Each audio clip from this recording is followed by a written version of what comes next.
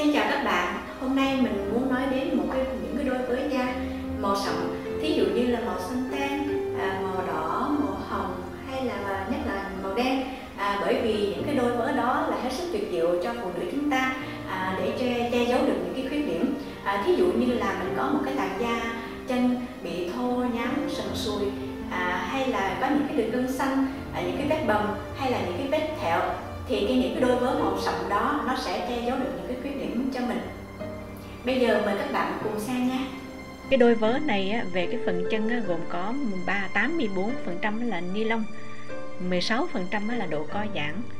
Và sợi vớ di chuyển theo cái chiều dọc và chiều ngang đang lấy nhau phù hợp với một cái cách rất là hoàn hảo với các đường cong của cơ thể người mặc xung quanh mắt cá chân. Và chân á, thì có hỗ trợ xoa bóp nhẹ nhàng để giúp ờ, giảm bớt mệt mỏi và tăng cường lưu thông máu ở chân. Ở đáy quần á, thì có miếng vải hình tam giác với chất liệu vải thì bằng bông nên rất là thoáng và không có bị bí hơi.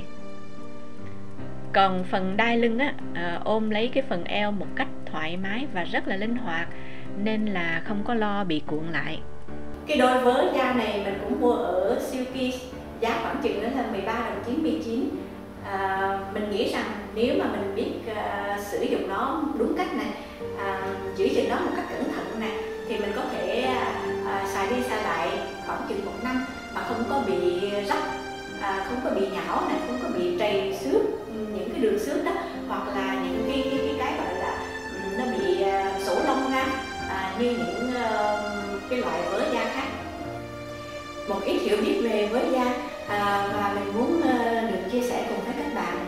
À, nếu các bạn có ý kiến gì thì xin comment dưới đây cho mình nha. À, hẹn gặp các bạn trong những cái video sau.